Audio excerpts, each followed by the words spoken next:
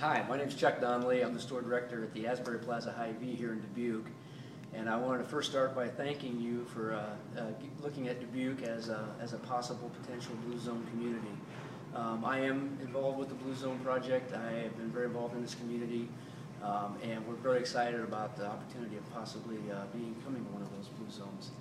Um, Unfortunately, I was unable to be here the day you uh, came for the site visit. Uh, I'm actually on my way to uh, Tempe, Arizona for the Ironman Arizona. And, uh, you know, the whole, the whole process of uh, fitness and everything has really changed my personal life. And I look forward to, to trying to make that same uh, commitment to our community to help them get better. Um, I think this is a great fit and a great match for, for Dubuque.